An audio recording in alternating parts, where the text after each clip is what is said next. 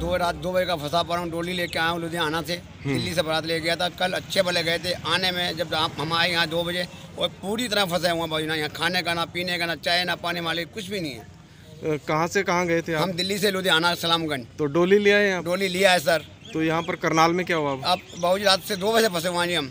अच्छा। निकलने के लिए रास्ता नहीं दे रहे हमें कोई भी हमें और रास्ता कोई पता ही नहीं है।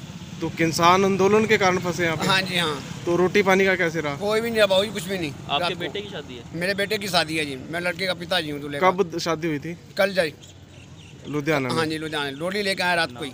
तो करनाल में कैसे फिर यहाँ रात को दो बजे फंसे बाबू जी ऐसे ही जाम में। तो अब क्या हाल हुआ? कोई पुलिस से बात हुई?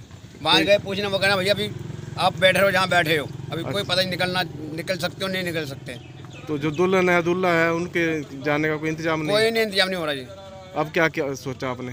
हमें यहाँ से जल्दी से जल्दी निकाला जाए। मोदी सरकार से और केजरीवाल सरकार से क्या जाए हमें जल्दी से जल्दी यहाँ से निकाला जाए। तो यहाँ करनाल पुलिस क्या कह रही? बात हुई हमें बात हुई है वो कह रहे हैं तुम यहाँ जहाँ बैठे हो वहाँ ही बैठे रहो।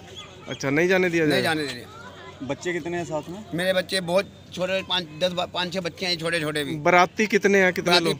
इक्कीस बराती हैं सारे। अच्छा तो इक्कीस के यही करनाल में? हाँ जी। कर्ण लेक पे आप रुके पड़े हाँ जी। तो खाना पीना कुछ नहीं कुछ भी नहीं सर। क्या नाम आपका? मेरा नाम राम सिंह जी। कहाँ से आए दिल्ली से।